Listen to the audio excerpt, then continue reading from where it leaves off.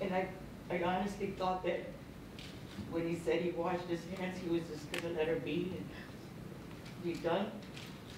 Little did I know that he had already killed her, and I gave him a hug, and it kills me every day inside that I gave him that hug. I wish I could take it back.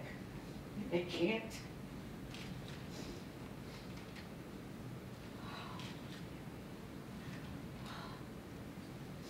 I know why. Andy, you are a monster. The fact that just hours after taking my sister's life, you went to my mother's house and sat in her face and showed no remorse for what you did just previous to that. I went to see his son yesterday, and he wanted me to tell him that he forgives him for everything that he did to him and for what he did to his mother.